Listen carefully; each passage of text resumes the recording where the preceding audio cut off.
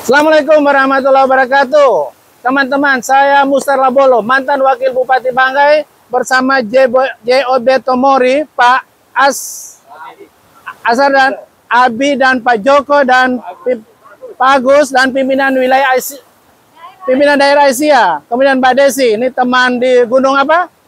Gunung Merapi. Merapi bersama kami hari ini setelah Pak Bupati meresmikan air bersih bantuan JOB dan Aisyah dan kami juga dari Kuarca Pramuka Banggai ini meninjau langsung tempat pengambilan air sumber airnya yang dibawa ke Tambiobong, Dusun Tambiobong. Ini terima kasih kami atas nama masyarakat kepada JOB, kepada pimpinan daerah Asia, kepada kuartir cabang Pramuka, dan teman-teman komunitas yang sudah membantu sehingga kebutuhan air minum air bersih di de desa Tambiobong, dusun Tambiobong dapat berjalan.